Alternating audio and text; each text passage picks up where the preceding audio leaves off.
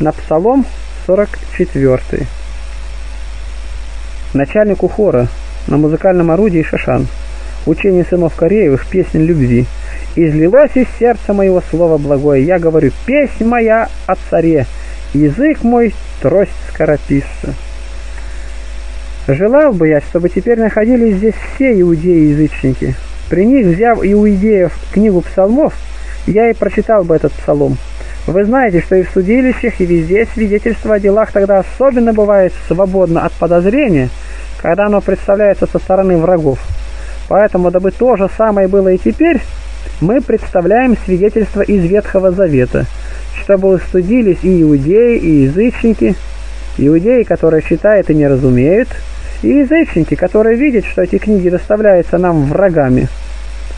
Тогда они уже не станут говорить, что они сочтены нами, когда не мы, но сами распявшие Христа доставляют нам эти книги, возвещающие о Его силе. Но будут ли они здесь или не будут, мы сделаем свое и приступим к изъяснению. Этот псалом написан о Христе, потому имеет надпись о возлюбленном и о изменяемых. Христос совершил в нас великую перемену и во всех делах переворот и изменения. Указывая на эту перемену, и Павел говорит, если кто во Христе, тот новая тварь. 2 Коринфянам 5.17. Потому и вначале пророк не сказал, сказала сердце мое, так как изрекаемое им не было чем-нибудь человеческим. Но он начинал возвещать небесное и духовное, не от собственного изобретения, а от божественного действия, он и выражает это словом «Излилось из сердца моего слово благое». Мы отрыгаем не тогда, когда хотим, а слово произносим – когда хотим, и произносим их и удерживаем. При отрыгании же не так. Поэтому, желая показать, что изрекаемым происходит не от человеческого усилия, но от божественного вдохновения, которое возбуждало его, он и назвал пророчество отрыгновением. Как отрыжка зависит от качества кушаний, так и в духовном учении. Что вкусил пророк, то и отрыгнул. Так и в другом месте другой пророк представляет то же действие чувственным образом, съедая книжный свиток и съедая с удовольствием, и было, говорит, в устах моих сладко, как мед. Иезекииля 3.3. Так как они принимали духовную благодать, то изрекали, изрыгали свойственное ей. А что здесь говорится не о чувственной отрыжке и не о кушаньях, послушать, что изрыгается и кто отрыгает. Это не желудок, принимающий кушанье, а сердце. «Излилось из сердца моего слово благое». Что отрыгает? Не пищу и не питье, но сродное такой трапезе. Слово благое, слово о единородном, потому что он преимущественно благ. «Я не пришел, — говорит он, — чтобы судить мир, но чтобы спасти мир». Иоанна 12:37. Все в нем кротко, все далеко от наказания. Пророк отрыгает это потому, что очистил свое сердце. Как желудок, когда бывает наполнен нечистыми соками, отрыгает сродное им – а когда находится в здоровом состоянии, то производит соответственную и отрыжку. Так и сердце пророка, будучи очищено от грехов и приняв благодать Духа, отрыгает слово благое. Отсюда мы познаем и нечто другое, именно то, что пророки не были подобны языческим прорицателям. У тех, когда бес овладевал их душою, то ослеплял ум и помрачал мысли, и они произносили все так, что их ум нисколько не понимал произносимого. Точно какая-нибудь бездушная флейта издавала звуки.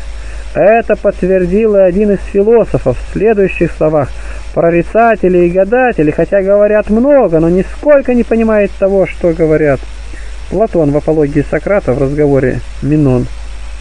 Но Дух Святый действует не так, а напротив, Он оставляет сердце разумения изрекаемого. В самом деле, если бы пророк не разумел, то как бы он сказал слово благое? Бес, как враг и неприятель, действует на природу человеческую враждебно. А Дух Святой, как благопопечительный и благодетельный, приемлющим его оставляет сознание и открывает уму их смысл своих вещей. Я говорю, песнь моя о царе, язык мой трость скорописца. О каких делах говорит он? О пророчестве, как дело кузнеца сделать кирку, дело строителя построить дом, дело корабельщика соорудить корабль, так и дело пророка составить пророчество. А что это есть также дело, послушай Христа, который говорит об апостолах. Делатель достоин награды. И Павел говорит, более всего труждающимся в слове и в учении. 1 Тимофей 5.17. Если бы оно не было делом, то как оно заключало бы в себе труд? И что может быть достопочтение этого дела? Что полезнее? Оно выше всех искусств. Какое же именно дело, о котором он говорит? Это самое песнопение, это самое пророчество. Он не сказал, какому именно царю, выражая, что это Богу всех. Слово мое о царе. Как мы, когда говорим о царе персидском, то называем его не просто царем, но прибавляем персидский. Также о царе армянском. А когда говорим о нашем царе, то не имеем нужды в прибавлении, но довольствуемся одним названием царя. Так и пророк, говоря об истинном царе, довольствуется одним названием царю. Как говоря о Вседержителе, мы не имеем нужды в каком-нибудь прибавлении, потому что нет другого Вседержителя. Так и говоря об этом царе, мы не имеем нужды в каком-нибудь другом прибавлении, потому что нет другого царя Бога. Притом и говорящий сам был царь. Отсюда очевидно, что он говорил не о человеке, но о Боге всех. Поэтому он не сказал, что о другом царе, означая господство божественное. 186. Далее, опять желая показать, что изрекаемое не было произведением человеческого ума, размышления и сочинения, но божественной благодати, а он сам послужил одним только языком, пророк говорит «Язык мой – трость скорописца». Трость пишет то, что велит рука, которая держит ее. Для чего сказано «быстрое»? Для того, чтобы и этим указать на благодать. Кто говорит от самого себя, тот останавливается, медлит, обдумывает, сочиняет, затрудняясь и незнанием, и неуверенностью, и мнительностью, и во многом встречает остановку, быстрота его речи. А когда дух движет умом, тогда ничто не препятствует, но как водяной поток, изливаясь, течет с великой стремительностью, так и благодать духа несется с великой скоростью, производя все легко, все удобно. Потом объясняет то же самое и показывает, что в изрекаемом нет ничего человеческого. Он продолжает стих 3. «Ты прекраснее сынов человеческих, благодать излилась из уст твоих. Посему благословил тебя Бог навеки». Некоторые утверждают, будто это сказано об языке, что он есть трость скорописца. Но мне кажется, что пророк говорит уже о Христе, поэтому, исполнившись вдохновение, он уже беседует со Христом и к нему обращает речь свою. Так, по великой пламенной любви ко Христу, он обращал речь, как и Иаков говорил, «Молодой лев с добычей поднимается, преклонился, он лег, как лев». Бытие 49.9 исполнившись вдохновения, беседует со Христом. Притом говорит не сравнительно и не сказал прекраснее, но прекраснее всех сынов человеческих. Его красота, говорит, иная, нежели это. И смотри, как он в самом начале говорит о домостроительстве Христовом. А что это относится к домостроительству, видно из следующего. Сказав, ты прекраснее сынов человеческих, пророк присовокупляет «благодать излилась из уст своих». Бог не имеет уст, но здесь говорится о домостроительстве. Слово «излилось» не то значит, как бы если бы что-нибудь сказал, находясь внутри, оно переполнилось, прорвалось. Как же другой пророк говорит, «Видел его, и не было в нем ни вида, ни величия, но он был обезображен более всех сынов человеческих» Исайя 53.2. Он говорит не о безобразии, да не будет, но об уничижении Христовом, благоволив сделаться человеком, Христос прошел все ступени степени уничижения, не избрал себе матерью царицы, в пеленах был положен не на золотом ложе, но в яслях, и воспитан не в великолепном доме, но в бедной хижине плотника. Также при избрании учеников взял не риторов, не философов, не царей, но рыбарей и мытарей, и проводил самую простую жизнь, не имея дома, не облачаясь в драгоценные одежды, не наслаждаясь таковой же трапезою, но получая пропитание от других, претерпевая обиды, презрения, гонения, преследования. Это делаем для того, чтобы совершенно попрать гордость человеческую. Вот потому-то, что он не окружал себя пышностью и великолепием, не имел при себе телохранителей и копьеносцев. Находил иногда и один, как простой человек-пророк, и говорит, «И видели его, и не было в нем ни вида, ни величия». А Давид говорит, «Прекраснее сынов человеческих, указывая на благодать, премудрость, учение, чудеса его». Далее, изображая эту красоту, и говорит, «Благодать излилась из уст твоих».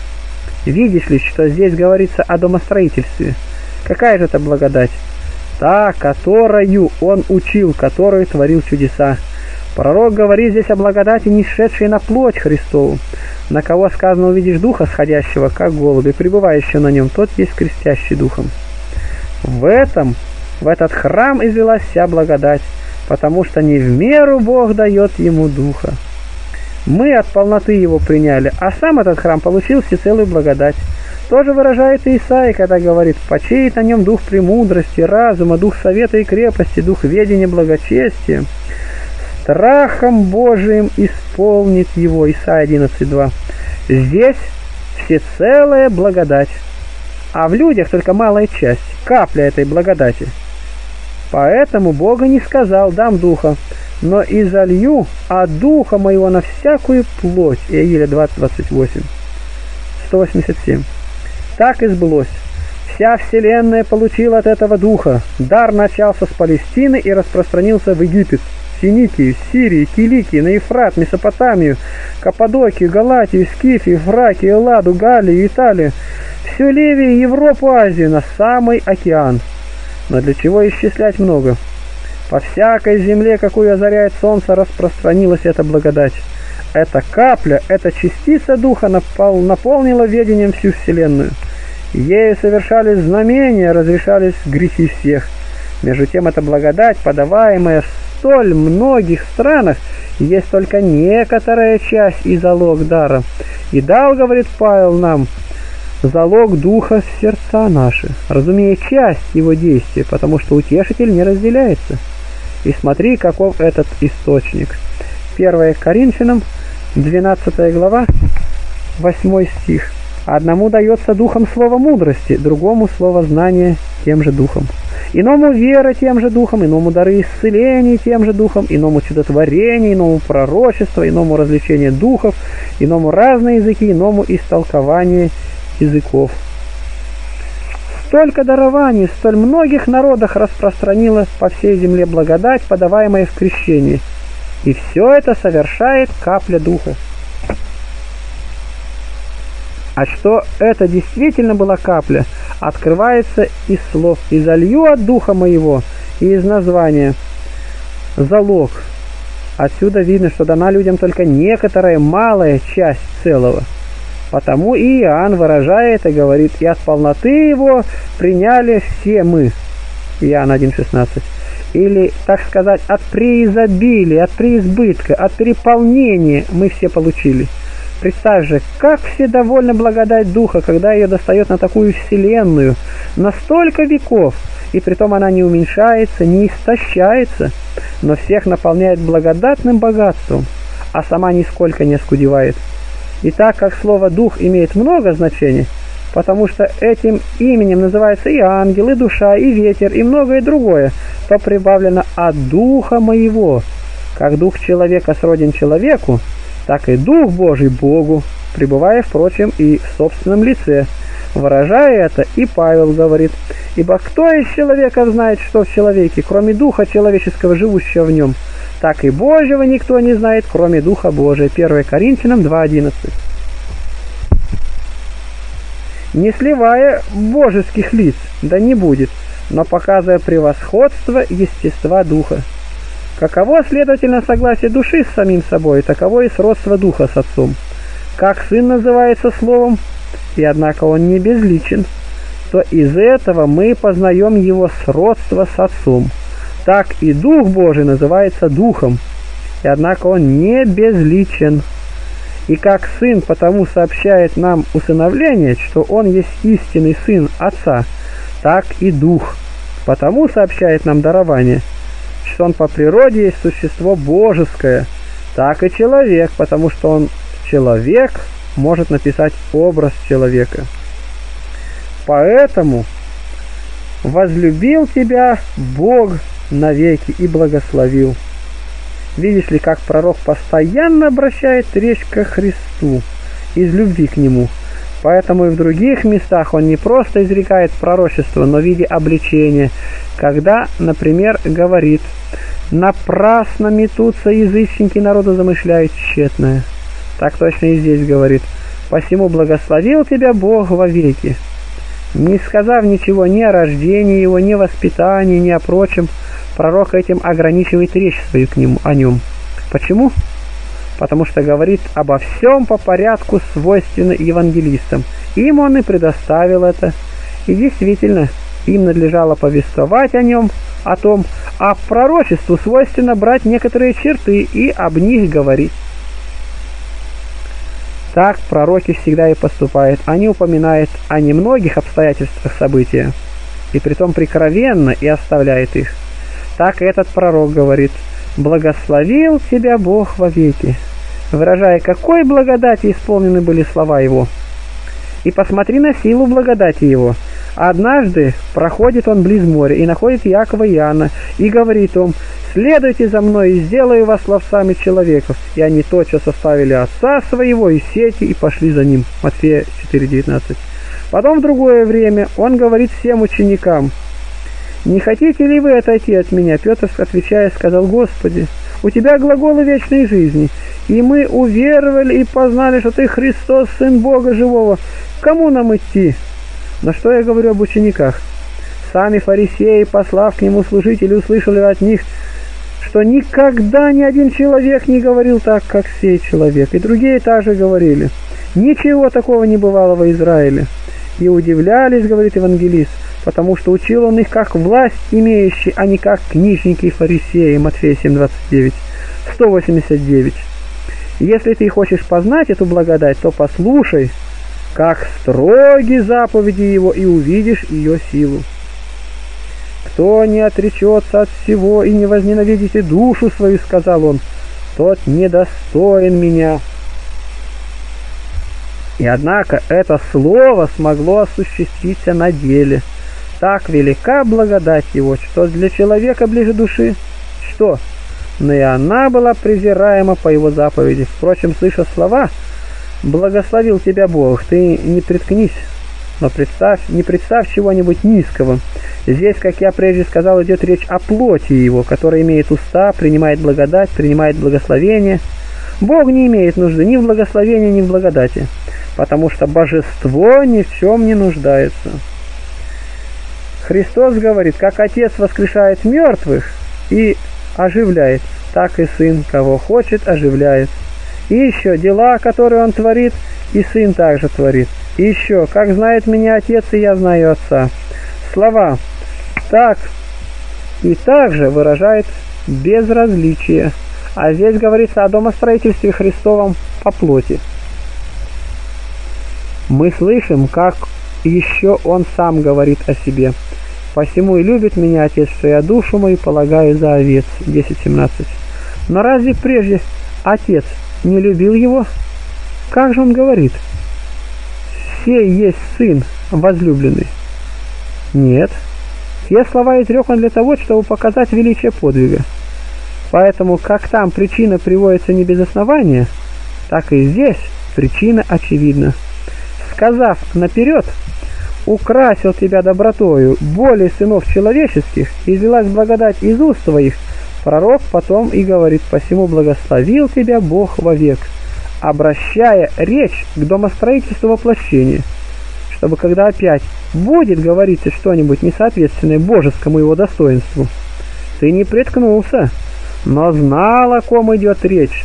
Так и Иаков, указывая на то же домостроительство после того, как сказал многое, говорит, «Радостны очи его, как вино, и белые зубы его, от молока. Но божество не имеет зубов. И другой пророк говорит, поразит землю словом уст своих и духом уст своих убьет нечестивого, выражая то же самое, что и Павел говорит. И Господь убьет духом уст своих и упразднит явлением пришествия своего. И так, чтобы ты, услышав это, не имел низких мыслей о Христе, пророк показывает тебе силу божества его. Он не отделяет в нем ни плоти от божества, ни божества от плоти, впрочем, не сливая этих естеств, да не будет, но показывая их единение. Потому и говорит, благословил тебя Бог вовек. Каким же образом совершается это благословение? Ангелы и архангелы предстоят ему престолы, господство, начало, власти, воссылает ему хвалу. Вся земля от конца до конца славословит, воспевает и величает воплотившегося Бога. Первый Адам подвергся великому проклятию, а этот, напротив, великому благословению. Тот услышал «проклят ты в делах твоих». Бытие 3, 17, 4, 11. Также и бывший после него «проклят творящий дело Господне с небрежением». Иеремия 48, 10. Еще проклят всякий, кто не исполняет постоянно написано в книге сей, Второзаконие 27-26. Еще проклят висящий над древе, Второзаконие 21-23. Видишь ли, сколько проклятий? От них освободил тебя Христос, сам соделавшись клятвою. Галатам 3.13. Как он уничижил себя для того, чтобы ты возвысить, тебя возвысить, и умер для того, чтобы тебя сделать бессмертным – так и сделался клятвой для того, чтобы тебя исполнить благословение. Что может сравниться с этим благословением, когда посредством клятвы подается благословение? Не сам он имел нужду в благословении, но подает его тебе.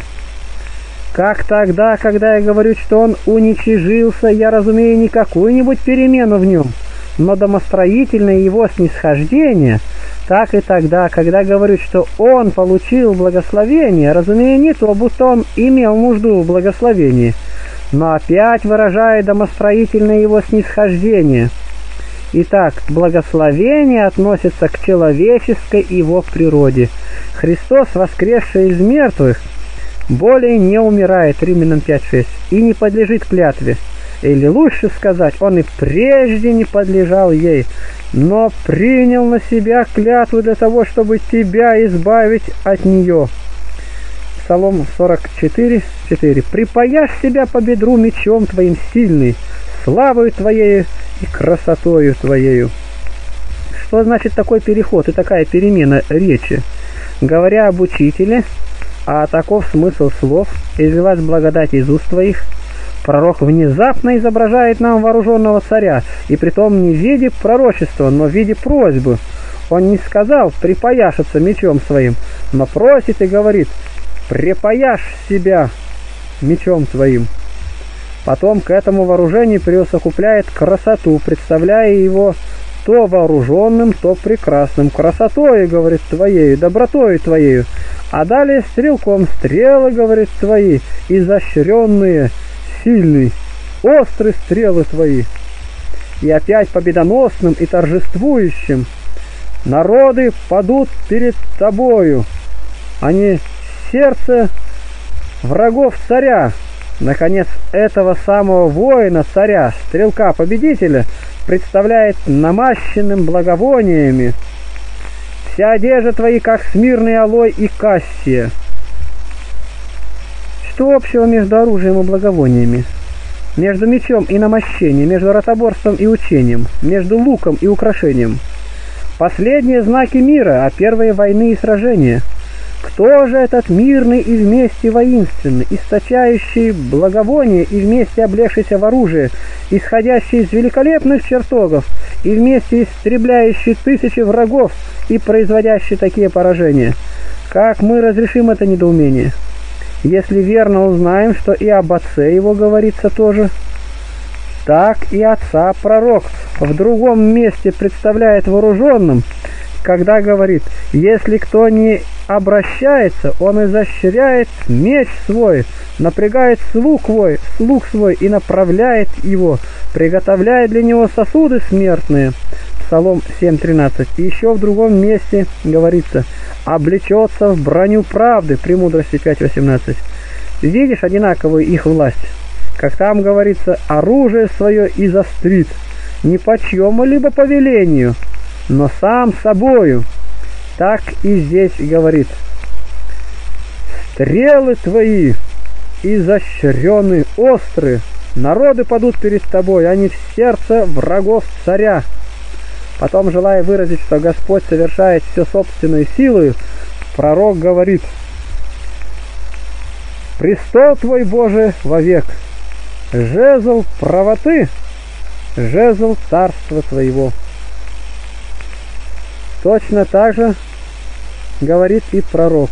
Ты не от кого-нибудь другого, говорит, получаешь силу, но сам в себе довольно имеешь ее. И сам Бог мира, послушай, что говорит ученикам. Не пришел я не извести мир на землю, но меч. Матфея 10.34. И еще, огонь пришел я не известь на землю, и как хочу, чтобы он возгорелся. Лука 12.49. А пророк говорит и о том, как он придет, сойдет как дождь на руно, и как капли, каплящие на землю. Псалом 71.6. Все это я говорю для того, чтобы вы были внимательны и, уразумев в точности смысл выражения, разрешили для себя недоумение. Приведенное выражение означает действие Божие. Так и здесь, когда ты слышишь «припаяшь, припаяшь меч твой по бедру сильный», то знаешь, что этим означается его действие, равно как и словами лук и стрелы.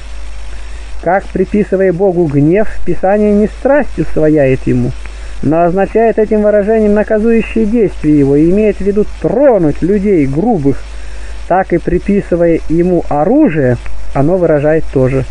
Так как мы наказываемся не сами собой, но посредством других орудий – то пророк, желая показать наказующую силу Божию, выражает ее знакомыми нам названиями. Не для того, чтобы мы представляли у Бога оружие, а чтобы ощутительнее вы разумели его наказание. Но, скажем, многие потерпели от этого вред, без причины, напрасной, по собственному неразумию. Уже и потому самому, что говорится о Боге, они должны были понять, что здесь говорится в переносном смысле, но Писание еще и другими выражениями не приминуло вразумить их, что Бог бесстрастен. В другом месте послушай, как пророк выражает скорость божественного наказания. Да воскреснет Бог и расточатся враги его. Нужно ли оружие? Нужен ли меч? Довольно, говорит, одного только воскресения. Но это еще чувственные выражения. Поэтому в другом месте он говорит, презирает на землю, и она трясется, Псалом 103.32. И еще, пред лицем его трепещет земля, но это еще чувственное выражение. Послушай более высокое. Все, что восхотел, сотворил. Для него довольно только захотеть. Впрочем, и здесь смотри, как в самых чувственных выражениях пророк внушает, что Бог ни в чем не имеет нужды. Он не прежде упомянул об оружии, как назвав его сильным, и исчислив оружие, всю победу приписал его деснице, то есть его существу и его могуществу. И другой пророк, выражая, тоже сказал, начальство его, сила его на раменах его. Сказав не для того, чтобы ты представлял в Боге раму, то есть плечо, да не будет, но чтобы знал, что Бог не нуждается в содействии других. Припаяшь себя по бедру мечом твоим сильной славою твоею и красотою твоею. О чем говорит здесь пророк? Этими чувственными выражениями он означает силу Христа, которую он восстановил вселенную, которую он окончил войну и поставил трофей. Подлинно была война жестокая, жесточе всех других войн. Не против враждебных варваров, но против бесов, нападающих на нас и развращающих всю вселенную. Потому и Исаия сказал, «Между сильными будет делить добычу, и еще Дух Господень на мне. Он помазал меня благовествовать нищим, проповедовать пленным освобождение». Потому Павел везде в надписании посланий говорит «Благодать вам и мир от Бога Отца нашего И еще, Он есть мир нас, сотворивший из двух одно, Ефесянам 2.14. А чтобы ты слышал слова, припаяшь меч твой, не разумел меча чувственно, то присовокупляет и следующее. Пророк, припаяшь себя по бедру мечом твоим сильным, славою твоею и красотою твоей, то есть меч его, красота его, доброта его, слава, достоинство, величие, великолепие. Божественное существо ни в чем не имеет нужды для исполнения своих предначертаний. Оно все довольно. Таким образом, пророк призывает его выйти на брань за Вселенную. Далее от выражений высоких опять не сходит к чувственным. После слов «меч» и «бедро», упомянув о красоте, он опять переходит к чувственным выражениям и говорит «надень и царствуй». Словом «припаяшься» он указывает нам на лук и стрелу, а потом опять, желая показать, что для него не нужно оружие, присовокупляет – и красотой твоей, всем украшением твоим поспеши воссять на колесницу. Ради истины и кротости и правды десница твоя покажет тебе дивные дела. Царство же, разумеется, здесь то, которое он пришедший устроил в последние времена. Царство общения и ведения. 193. Сказанные слова выражает сильное желание пророка, уже созерцающего деяния Христа и Вселенную, руководимую им к истине. Поэтому он и употребил эти выражения в повелительном наклонении. Такие выражения обыкновенно употребляют и низшие из пламенной любви к высшим. Ради истины, кротости и правды. Приводит имя истины. Видишь, как Писание объясняет само себя и показывает, что это победа умосозерцаемая и духовная. Упомянув об оружии, меч и луки, для чего пророк говорит здесь о кротости? Какая связь между кротостью и войной, смирением и сражением? Великая, если рассмотреть внимательно. Так и Давид и Моисей были мужи кроткие. О первом Писании говорит «Помяни, Господи, Давида и всю кротость его». Псалом 131.1. Также и Моисею. Моисей был кратчайший человек из всех живущих на земле. Числа 12.3. И однако эти мужи, кратчайшие из всех, были строжайшими из всех – Впрочем, если желаете, скажу наперед об их кротости. Блаженный Давид, неоднократно улавливая Саула и имея возможность умертвить его, не наложил на него руки. Когда и другие советовали ему умертвить, он пощадил Саула и укротил свой гнев. Даже когда Семей столько оскорблял его и смеялся над его тогдашним несчастьем, и когда военачальники хотели догнать и убить дерзкого оскорбителя, то какие произносит он слова, исполненные всякой мудрости. Второе царство 16. Равно и в отце-гонителе и бесстыдном юноше, как он просил своих военачальников, «Пощадите мне, — говорит, — отрока Вессалома». И вначале, когда он разговаривал с братьями своими, негодовавшими и завидовавшими будущей его победе, представь, как он кротко отвечал, «Не слова ли это?» А Моисей?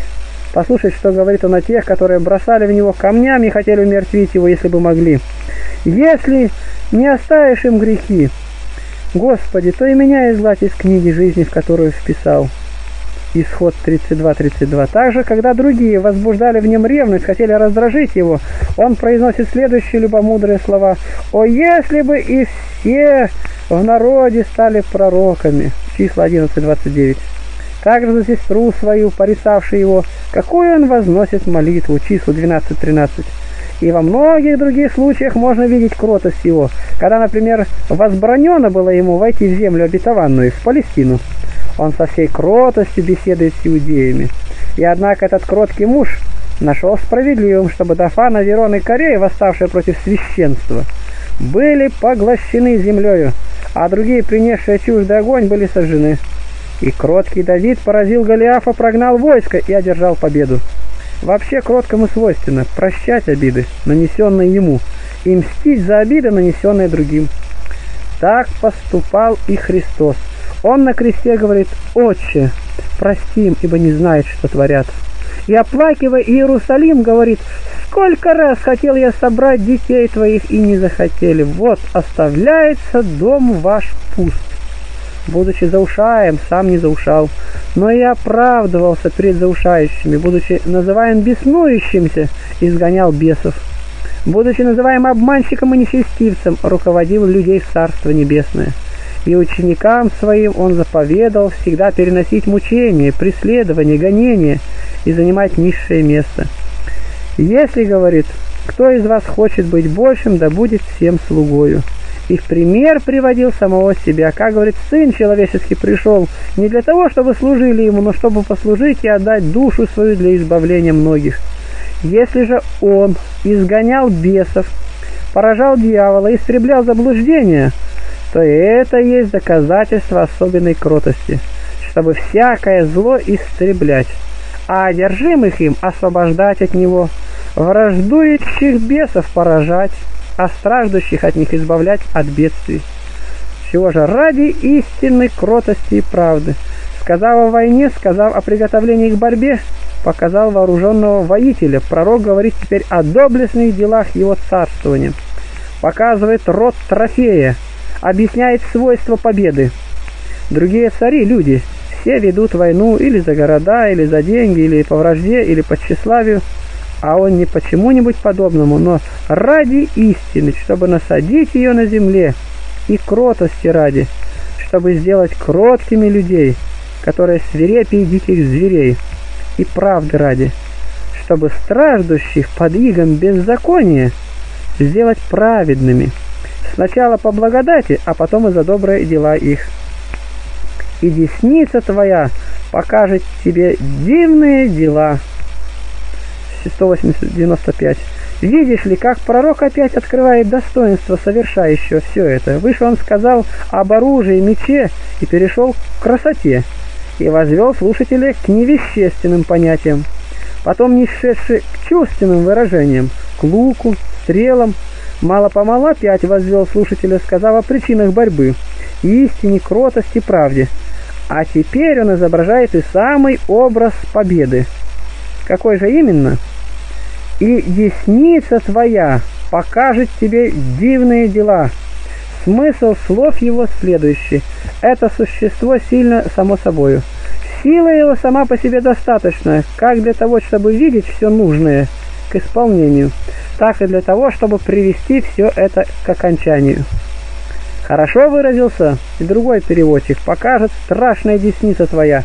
И действительно, дела его весьма страшны и ужасны разрушена смерть, расторгнут ад, отверст рай, открыто небо, обузданы бесы, соединилось горнее с дольним. Бог сделался человеком, человек вошел на царский небесный престол, оживилась надежда воскресения, чаяние бессмертия, вкушение неизреченных благ и все прочее, что совершилось его пришествием. Потому другой переводчик и говорит – наставить тебя на страшная десница твоя, выражая, что это существо сильно само собой, что сила его достаточна и для составления, и для исполнения предначертаний. А семьдесят толковников сказали, наставить тебя дивная десница твоя, то есть не только дела его достойны удивления, но и то, как чудно они совершены. Смертью попрана смерть, клятвою разрушена клятва, и подано благословение – Через вкушение мы изгнаны прежде из рая, и через вкушение опять введены в рай. Дева изгнала нас из рая, через Деву мы обрели вечную жизнь. Чем осуждены, тем и увенчаны. Созерцая все это, пророк и говорит, наставить тебя дивно десница твоя. Нужно ли для него оружие? Нужен ли меч, лук и стрелы? Видишь ли, как это существо сильно само собою. Но смотри, как пророк опять, подобно искусному художнику, не сходит от высоких выражений к чувственным. Изощренные стрелы твои остры, народы падут перед тобой, а не сердце врагов царя. Упомянув о стрелах, смотри, как он опять прибавляет слово «сильный», дабы ты знал, что Христос не имеет нужды в стрелах, а силен сам собою. Порядок мыслей таков. Острые стрелы твои сильны, сердце врагов царя а слова «падут народы пред тобою» поставлены в середине. Здесь, мне кажется, двоякий смысл. Или пророк говорит о пленении иудеев, покорении и разрушении их города, или в переносном смысле называет стрелами силу слова евангельского. Подлинно быстрее стрелы это слово прошло по всей вселенной и коснулось сердца прежних врагов царя, не для того, чтобы умертвить их, но чтобы привлечь их к себе, как случилось и с Павлом. Не погрешит, кто назовет стрелой то слово, которое, шедшее с неба, коснулось сердца прежнего врага и сделало его другом. «Падут перед тобою народы!» Видишь ли успех войны? Примирение бывших прежде противниками, научение их оглашение. Это падение и подпадение под власть его служит для всех основанием и источником возвышения, потому что он покорил их себе, освободив от гордости, тщеславия и бесовского заблуждения. Другой пророк представляет его обогренным кровью и говорит, «Кто сей, пришедший от Идома червленных одеждах от Васора?» Исайя 63.1. Здесь не говорится об оружии, луке и стрелах, а об одежде. Выражение также чувственное, но менее чувственное, нежели псалмопевца. И здесь также при самой чувственности выражений пророк возводит мысль к предметам бестелесным. На вопрос «Почему червленые ризы?» он отвечает «Я топтал, точила один» выражая легкость победы и то, что не имел никого своим помощником, что он силен сам по себе. Как там сказано, «И десница твоя покажет тебе дивные дела», так и здесь я топтал, точил один. Как легко для виноделателя выжимать ногами виноград, так легко и для Бога совершать, что хочет, или даже не так, а гораздо легче. Престол твой, Боже, вовек. Жезл правоты, жезл царства твоего. Ты возлюбил правду и возненавидел беззаконие, посему помазал тебя, Боже Бог твой, елеем радости, более соучастников твоих. Что скажешь здесь, иудей? О ком это говорится? Что скажет еретик, если скажет, что говорит об Отце, престол твой Боже, вовек? То как отнесет к нему следующие слова его? Посему помазал тебя Боже Бог твой. А Отец не Христос, и помазан был не он. Отсюда ясно, что здесь говорится о единородном, о котором и выше было говорено, о котором Исаия сказал, что царство его не будет конца. 197. Но, может быть, кто-нибудь спросит, почему пророк говорит теперь о божестве Христовом, между тем, как прежде говорил о домостроительстве воплощения. Так поступает евангелист начинает с воплощения и в самом начале говорит «Книга родословия Иисуса Христа». Подобным образом поступает Лука и Марк, один только Иоанн иначе. Он сначала говорит о божестве. «Вначале было Слово, и Слово было у Бога, и Слово было Бог» и сказав о нем многое, потом уже говорит, и слово стало плотью и обитало с нами. Впрочем, хотя он при написании Евангелия поступил противоположно другим евангелистам, но и при этом показал великое с ними согласие. Но скажешь, сообразно ли с разумом, чтобы в противоположном было согласие? Разве ты не знаешь, что есть и не есть, пить и не пить, давать и не давать, суть действия противоположны между собою? И однако врач нередко употребляет то и другое вместе, не противореча самому себе, но действуя вполне согласно с самим собою. Он имеет в виду только одно – здоровье больного. Тоже было и с евангелистами. Также лето противоположно зиме, но у них одна цель – возрастание и созревание плодов. И весь мир состоит из противоположностей, но в нем видна великая стройность ко благу нашей жизни – и Христос шел путем противоположным Иоанну Крестителю. Он вкушал, а тот не вкушал. Пришел, говорит, Иоанн, не ест и не пьет, и говорят, бес в нем. Пришел Сын Человеческий, ест и пьет, и говорят, вот человек, который любит есть и пить вино. Но хотя действия были противоположны, они имели в виду одну цель – спасение уловляемых – так и в порядке повествования о божестве и воплощении. Хотя Иоанн поступает противоположно прочим евангелистам, однако он весьма согласен с ними. А почему так, я объясню. Это потому, что в начале, когда слово еще не было посеяно, надлежало останавливаться на учении о домостроительстве – и внушать учение воплощения, начиная с более чувственного и вещественного. А потом, когда это учение утвердилось, когда эта проповедь принята, благовременно было восходить и выше. Потому и пророки, когда говорят о Христе, прежде всего начинает речь с домостроительства, воплощения. Так, смотри, Михей начинает, «И ты, Вифлеем, земля Иудина, как немало во владениях Иудиных, на тебя произойдет вождь, который упасет народ мой Израиля». Михея 5.2. Из Вифлеема, конечно, произошло не божество, а плоть. Но не останавливаясь на одном этом, он восходит и к божеству. И происхождение его от начала дней вечности. Так и Исаия говорит, «Все дева в чреве примет и родит сына нарекут имя ему Эммануил, что значит «с нами Бог». Видишь ли, как и он от плоти восходит к божеству. Также поступает он в другом месте, когда говорит «Младенец родился нам, сын дан нам, владычество на, на раменах его, и нарекут имя ему, чудный, советник, Бог крепкий, властелин, князь мира, отец вечности». Видишь ли, как он опять, начиная с отрочества и воплощения, и как бы восходя по ступеням, останавливается на божестве. Так и отец его сначала был познаваем из творения – ибо невидимое его, говорит Павел, вечная сила его от создания мира через рассматривание творений видимы. И сам Бог часто является в чувственном образе, мало-помалу возводя род человеческий к невещественным понятиям. Впрочем, удивительно ли, что он делал такое распоряжение касательно догматов, если в предписаниях и заповедях он поступает точно так же? Потому и пророк здесь так располагает речь свою, восходя от плоти к божеству. Уста относятся к плоти, от божества не сходя опять к плоти. И таким разнообразием речи, устрояя спасение получаемых, престол твой Божий век века.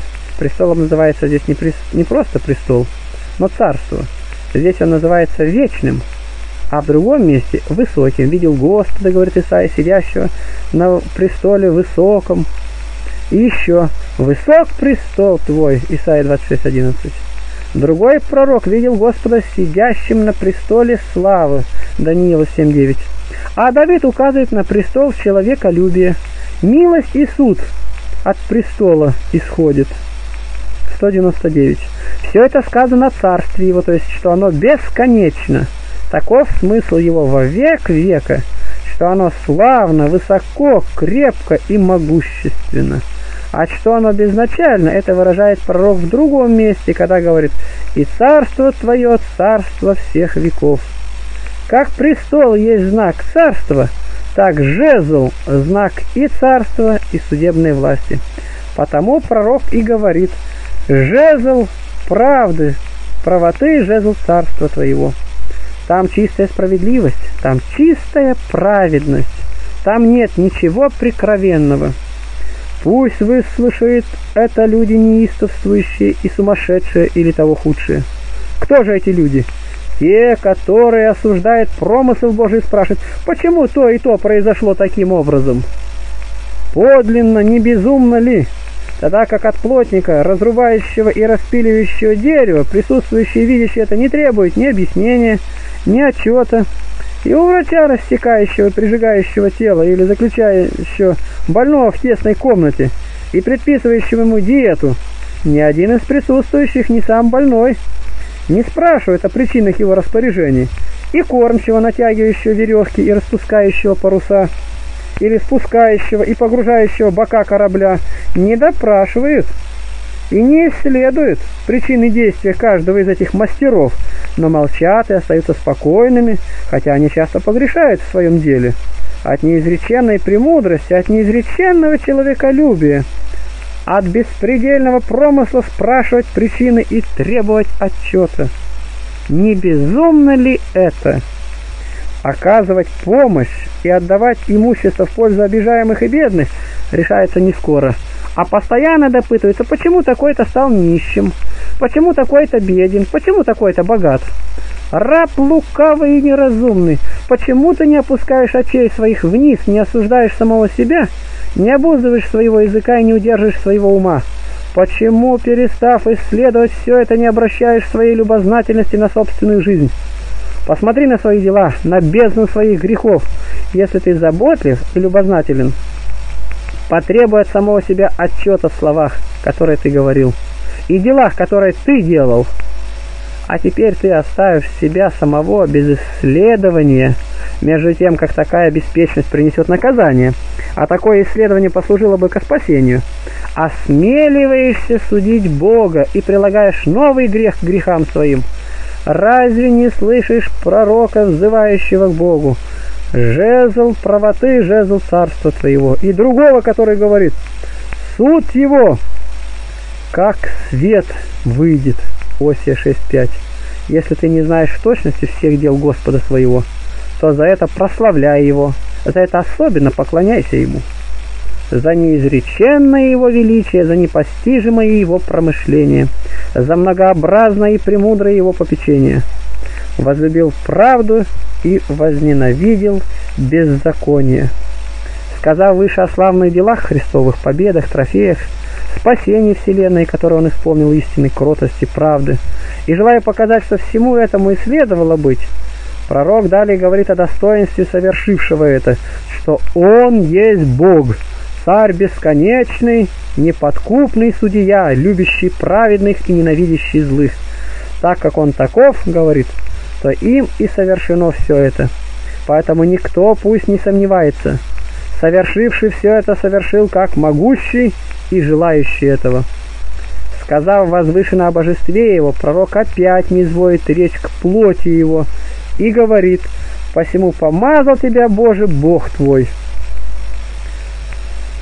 Другой переводчик говорит, «На сие помазал тебя, на то, чтобы исполнить сказанное, истребить беззаконие, насадить правду, совершить то, что ты совершил». Но не смущайтесь, когда слышите, что все это приписывается и Отцу. Писание говорит так, не отнимая у него этих дел, но приписывая Отцу свойственное Сыну, равно как и свойственного Отцу приписывается Сыну. Ибо мои, мое все твое, сказал Господь, и твое мое. Так и Павел, беседуя о воскресенье, говорит, Бог воздвиг его из мертвых, а Ян говорит, разрушьте храм сей, и я в три дня воздвигну его. Что значит елей радости? Христос помазан был не Илеем, а Духом Святым. Поэтому пророк и присовокупил более соучастников твоих, выражая то самое, что никто не был помазан так, как он. Прежде Христа было много помазанников, но ни одно, ни одного такого. Было много агнцев, но он превосходнейший, было много сынов, но он единородный. Все это свойственно ему преимущественно не только по божеству, но и по домостроительству воплощения, потому что никто, кроме его, не был помазан таким духом. Не удивляйся, что пророк называет это елеем. Он, как пророк, говорит прикровенно. Хорошо сказал он. Хорошо сказал он радости, чтобы показать, что это дело радостное, так как плод духа – любовь, радость, мир – Другой переводчик говорит «елеем красоты». А в еврейском – украшения, славы, красоты. Если же сказать «веселье», то это справедливо. Как слыша о мече, стрелах и луке, ты разумеешь не меч, стрелы и лук, но силу Христову, совершившую все то, о чем я выше сказал. Так и слыша о елее, не разумей простой елей, но помазание. Елей был только знаком духа, а главное и необходимое – дух – если так, то не сомневайся называть его помазанником, как назывался помазанником Авраам и пророки, хотя и не все они были помазаны Илеем. Как сказано, не прикасайтесь к помазанным моим, и пророка моим не делайте зла. Когда же был помазан Христос? Когда сошел на него дух в виде голубя. Более соучастников пророк называет здесь всех исполненных духа, как говорит Иоанн, и от полноты его все мы приняли. О Христе говорит, не мерой дает духа. Еще сказано, и залью от духа моего на всякую плоть. А там не говорится от духа, но весь дух сошел на него. Почему и сказано, не мерой Бог дает духа. Все одежды твои, как смирно алой и кассия. 6.1. Некоторые говорят, что этими словами пророк указывает на погребение, а другой говорит, что он выражает особый род помазания. В древности помазание совершалось не этими благовонными мастями, а другими. И дабы ты убедился, что это особый род помазания, он и означил различие веществ, различие силы. Слова «все одежды твои» показывают, что и одежды Христов были исполнены благодати. так кровоточивая остановила потоки крови, прикоснувшись к краю одежды его.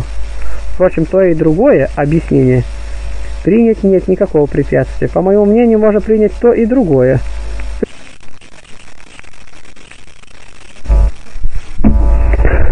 Притом, нам ничто не препятствует опять сказать тоже. Как слыша о луке, мече и подобных вещах, ты не разумеешь их чувственно, так и слыша о Смирне и Кассе, ты разумеешь их не чувственно, а духовно. Из чертога слоновой кости увеселяет тебя. Дочери царей между почетными у тебя. Сказав о том, что Христос совершил Пророк говорит теперь о чести, последовавшей за его делами, что ему будут поклоняться в драгоценных храмах. Слоновая кость в древности была самым дорогим и любимым веществом. Вот почему и другой пророк сказал «Горе вам, спящие на одрах из слоновых костей» Амоса 6.4. Здесь опять показывается, что проповедь коснется не только бедных, но и покорит и царство. И воздвигнуты будут Христу великолепные храмы, это уже, как видно, избывается на самом деле. Желая показать силу проповеди, пророк говорит, как она уловила, как пленила жен и мужей бедных и богатых, самих венценосов и супруг их, и как везде воздвигла храмы Богу. Потом, так как уже до этого дошла речь, он еще более распространяет и изображает тех, которые совершают перед ним служение и молитвы, показав, как народы пали перед ним, как он коснулся сердца их, как победил врагов, как наставила его десница его, как он насадил истину, кротость и правду. Теперь пророк употребляет переносный смысл, образ речи, изображая как бы на картине церковь, и то, что впоследствии сказали апостолы. Один в словах «обручил вас единому мужу, чтобы представить чистой девой Христу». 2 Коринфянам 11.2. Другой «имеющий невесту есть жених». Иоанна 3.29. И третий, уподобило Царство Небесное человеку-царю, который соделал брак сыну своему. То же самое и он предвозвещает, представляя невесту и вместе царицу. Дочери царей между почетными у тебя стала, царица одесную тебя в афирском золоте стала, то есть твердо стала, неподвижно, как и Христос говорит в другом месте, и врата ада не одолеет ее. Видишь ли величие чести? Видишь ли высоту достоинства? Попранную, униженную он возвел на такую высоту, что она предстоит Богу. Пленная, отринутая, прелюбодейная и нечистая. Видишь, какого достигла достоинства? Она предстоит Богу вместе с служебными силами. Сын, как равночестный отцу, сидит, одесную его, а она стоит, потому что она, хотя и царица, есть существо сотворенное. Как же Павел говорит, и с ним воскресил, посадил нас на небесах во Христе Иисусе, Ефесянам 2.6. Но вник невнимательно, он не просто сказал воскресил и посадил, но во Христе, то есть через Христа. Так, как говорит глава наша горе, и мы, а мы тело его, то когда глава сидит в горе, и мы участвуем в этой чести, хотя и стоим. Стала царица одесную тебя в афирском золоте. Как у царя мы разумеем невещественный лук и стрелы, так и у невесты разумеем невещественные одежды. Но от чувственных вещей возвышайся к богоприличным мыслям. А чтобы никто не разумел здесь чего-нибудь подобного, пророк превосокупил. Вся слава царицы внутри ее. Внутри. Одежда более всего прочного открыта и на виду у всех, кто смотрит. Впрочем, таковы одежды телесные. А когда говорится о духовных, то устремляй око ума своего внутрь. Эту одежду царь соткал и облег ею церковь в крещении. Все вы во Христа, крестившиеся во Христа, облеклись. Прежде она была нага и безобразна, доступна для всех проходящих по пути. Но как скоро облеклась в эту одежду, то вознеслась на высоту и удостоилась стоять одесную Бога. Хорошо пророк называет ее в одеждах стала из афирского золота. Одежда ее не однообразна, потому что для спасения нужна не благодать только, но и вера, а с верою и добродетель. Впрочем, теперь идет речь не об одеждах. Дух не имел особенной цели описывать золотые одежды жены. Если Исаия обличает жен, которые украшают себя, и везде роскошь осуждается, то как он стал бы хвалить украшение жены? Слышать, щери, смотри, преклони ухо твое, и забудь народ твой и дом отца твоего. И возжелает царь красоты твоей, ибо он Господь твой, и ты поклонись ему. 204. Видишь ли, что здесь нет ничего чувственного, ничего телесного, все духовное. В самом деле, каким образом невеста есть и дочь одного и того же лица? Каким образом дочь может быть и невестою? В делах плотских этого не бывает, но иное то и иное это. А у Бога бывает то и другое вместе. Он сам родил церковь крещением и сам сделал ее невестой своей. Слушай, черь, и смотри. Он даровал ей два блага – учение в словах и видение в чудесах и вере. Притом одно уже даровал ей, а другое обещал. Послушай, говорит, слов моих, посмотри на чудеса и дела мои, и внимай увещанием.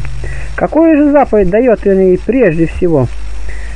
И забудь народ твой и дом отца твоего. Так как он избрал ее из язычников, то прежде всего заповедует отвергнуть это родство, забыть о нем, и сторгнуть его из души, не только бежать от него, но и не вспоминать о нем. И забудь народ твой и дом отца твоего. Словами «народ» и «дом» пророк выражает все, там у них происходящая жизнь и учение, и возжелает царь красоты твоей. Видишь, что здесь говорится не о телесной красоте. Если сделаешь это, говорит, тогда будешь прекрасную. Тогда царь возлюбит красоту твою. Но этого не производит красота телесная. И у неверных мы видим телесную красоту, и между язычниками есть благообразные женщины. Дабы ты убедился, что здесь речь не о телесной красоте, он говорит, что она состоит в послушании ему, а послушание составляет не телесную красоту, но душевную. Если сделаешь это, говорит, тогда будешь прекрасный, тогда будешь любезный жениху, потому что он есть Господь твой, вот один и тот же является и отцом, и женихом, и Господом. Заповедав оставить отцов своих, забыть народ свой, отвергнуть родство, он доказывает, что эти заповеди весьма справедливы, что в речи есть его великая последовательность, что это так должно быть.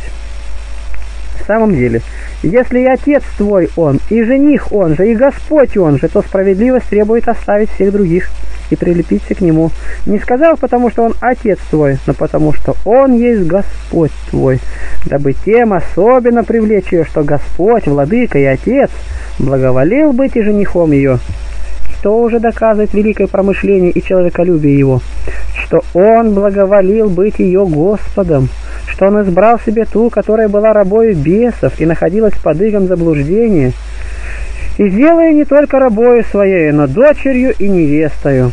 Забудь, говорит он, народ твой и дом отца твоего, потому что ты идешь не к чужому кому-нибудь, а к тому, кто создал тебя, кто всех тех ближе к тебе, кто печется и заботится о тебе, и он Господь и Отец твой. Он все даровал тебе, и поклонится ему, и дочери, дочь Тира с дарами богатейшие из народа будут умолять лицо. Какая здесь речь и связь речи? Превосходная. Здесь предлагается самое сильное убеждение. «Приди, — говорит, — потому что велика сила его, и все будут повиноваться ему». Не говоря о всей вселенной, пророк указывает на соседний город, который тогда был предан нечестию. Был твердыней дьявола и весьма славился своим богатством, а частью он намекает на целое – мне даже кажется, что он назвал так всякое нечестие и разврат. Писание обыкновенно именами городов выражает нравы людей. Так, например, «Слушайте слово Господне, князья Содомские, внимайте закону Бога вашего, люди гоморские». Это говорится к иудеям, но так как они совершали дела содомские, то и называются содомлянами, Исайя 1.10. И удивительно ли, что оно прозывает их таким отечеством, когда дает им таких же и отцов, например, когда говорит «Отец твой Амаре и мать твоя Ситиянка» Иезекииля 16.3. И на этом не останавливает укоризненно, даже не зводит речь к зверям, как, например, в Новом Завете говорится «Змеи, порождение Ехидины» и Ветхом, яйца аспидов разбили, высиживают и ткут паутину. И еще так ли вы, сыны мои, такие, как сыны Эфиопии стали для меня? Амоса 9.7. так и здесь живущих нечестиво и развратно он назвал тирянами. Но их, говорит, я преодолею, покорю себе. И покорю так, что они поклонятся и не просто поклонятся, но и принесут дары и начатки, что составляет высший вид служения и есть знак совершенной покорности.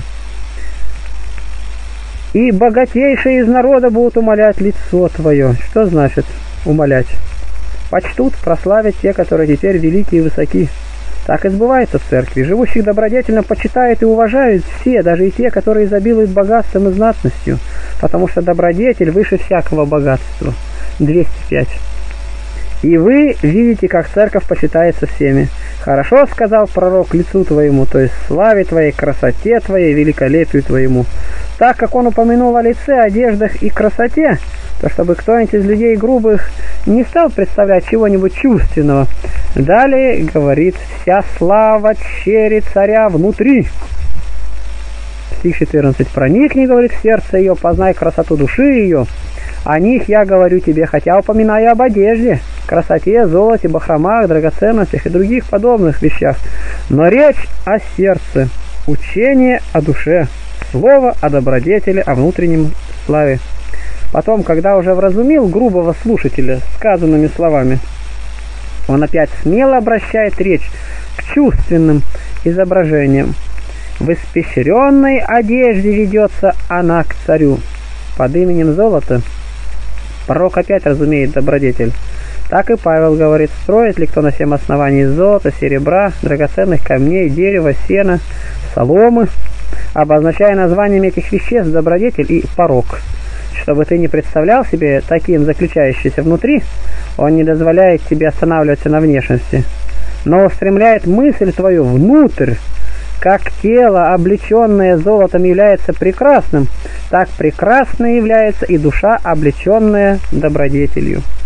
За ней ведутся к тебе девы, подруги ее, приводятся с весельем, с ликованием, входят в чертог царя. Видишь ли украшенную одежду? Видишь ли золотое облачение, цвет девства? Это одежда церкви. И посмотри, с какой точностью, говорит пророк, так как не тотчас ли по основанию церкви просвел прекрасный цвет девства, но уже после, спустя несколько времени, то он и говорит об этом после прочного, когда сказал, что она забыла народ и дом отца своего, украсилась внутренней красотой, просияла добродетелью.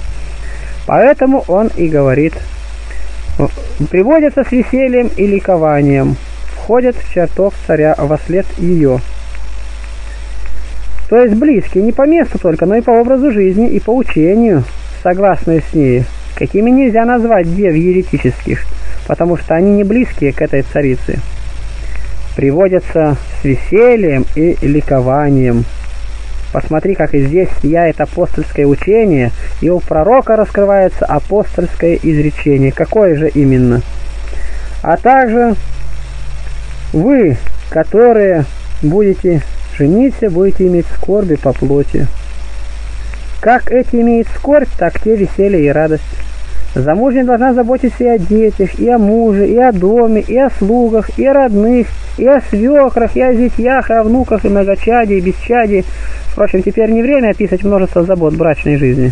А дева, распявшись для плоти, отрешившись от настоящего, ставшей выше забот житейских, удалившись от волнения мирского и каждодневно взирая на небо, наслаждается радостью духа, вкушает веселье. Впрочем, пророк говорит не только о настоящем, но и о будущем, когда девы чистыми и светлыми светильниками выйдут навстречу жениху.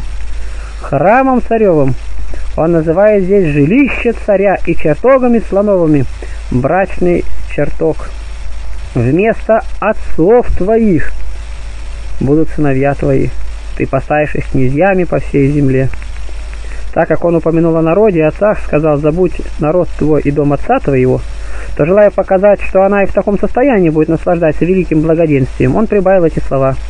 Бесплодной делается матерью бесчисленных детей, хотя, ты, говорит, отторгнута от родителей, но у тебя будут сонмы детей, столь славные, светлые, знаменитые, что они наполнят всю вселенную. 207. Мне кажется, что он говорит здесь об апостолах, бывших учителями церкви. Далее, описывая силу могущества и славу их, прибавляет, ты поставишь их князьями по всей земле. Нужно ли объяснять эти слова? Я не думаю. О солнце не нужно говорить, что оно светло, а сказано яснее солнца. Подлинно апостолы обошли всю вселенную и сделались владыками выше всех князей и сильнее царей. Цари господствуют при жизни, по смерти же теряют власть, а они по смерти еще более господствуют. Законы царей имеют силу в своих пределах, а заповеди рыбаков распространились по всей вселенной. Царь римский не может предписывать законов персам и персидские римлянам, а эти палестиняне дали законы и персам, и римлянам, и фракийцам, и скифам, и индийцам, и маврам, и всей вселенной. Законы их имеют силу не только при жизни их, но и по смерти. И принявшие их скорее решились бы отдать душу свою, чем отступить от этих законов. «Сделаю имя твое памятным в род и род, посему народы будут славить тебя во веки и веки. Пророк объяснил величие власти церкви пространством земли, обширностью вселенной, множеством покорившихся ей народов. Теперь объясняет достоинство церкви с другой стороны, именно тем, что она распространится не только по всей вселенной, но и на все века. Бессмертно, говорит, будет память твоя, начертанная в наших книгах, начертанное в общественном устройстве, начертанное в заповедях.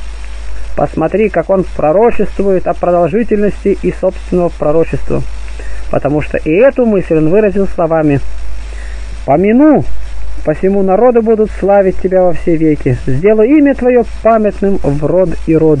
Хотя я умру, говорит, но и по смерти буду воспевать тебя. Тело мое разрушится, а Писания останутся, и закон вечен». Посему народы будут славить тебя. Чем начал пророк, тем и кончил, то есть Христом. Посему. Чего?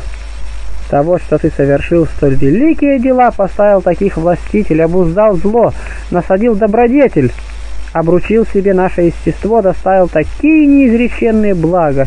Посему вся вселенная будет возносить тебе хвалебную песнь, не в краткое время, не 10, 20 или 100 лет, и не в какой-либо части Вселенной, но земля и море, обитаемые и необитаемые страны, во все века будут петь, воссылая благодарность за дарованное благо. Будем же и мы благодарить за все это человеколюбивого Христа, через которого и с которым Отцу со Святым Духом слава, ныне и присно, и во веки веков. Аминь.